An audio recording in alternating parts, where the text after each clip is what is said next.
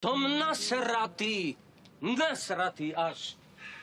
Nemôžem, nemôžem tomu uveriť. Ja nemôžem tomu uveriť. Je strašné niečo.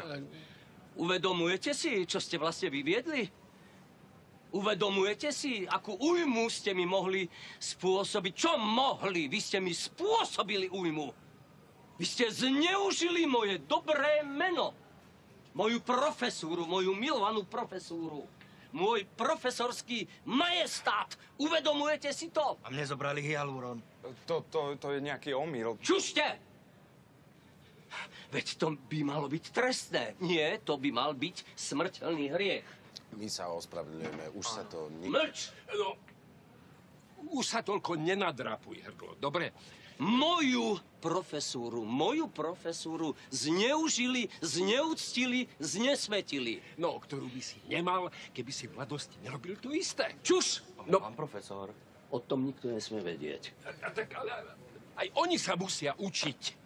No dobre, ale prečo s mojim titulom? A počúvaj, tak upokoj sa, lebo ti praskne cieva v hlave. Tak, Dobre, No a čo môj ale hyaluron? choďte.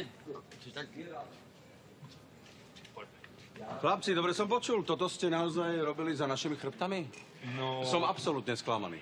no, Filipko, nebuď na nich až taký prísny. Doktor Čierny, ty toto schvaluješ? Neschvalujem, ale nejako sa to musia učiť a oni dostali za úlohu triediť kartotéku. Triediť alebo operovať, to je úplne jedno. Každá úloha je v nemocnici úlohou a ty treba plniť. A nemyslíte si, že sa to neprejaví na výpise, ktorý budem posielať do vašej školy.